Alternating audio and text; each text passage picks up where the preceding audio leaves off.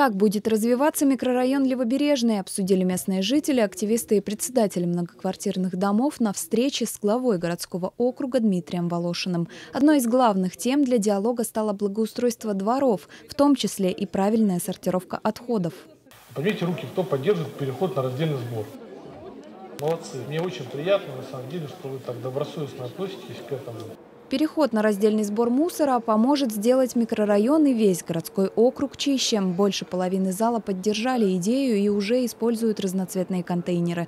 Также на встрече обсудили создание парковочных мест, строительство детских садов и необходимость мест для дополнительных занятий юных химчан. Дворец культуры, где бы дети могли заниматься в полную меру, потому что та школа, которая имеется на сегодняшний день на левом берегу, она не может вместить э, всех желающих.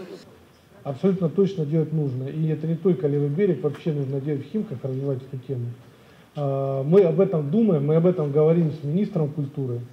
Мы этот вопрос уже обсуждали. Это такой культурный район, да, у нас, ну, в принципе, левый берег, он сам по себе. А, и делали объезды, смотрели, то есть он находится в проработке. За пять лет в микрорайоне Левобережный сделали немало. Было введено четыре новых маршрута общественного транспорта, появилось четыре детских сада и школа, которая начнет работу с 1 сентября этого года.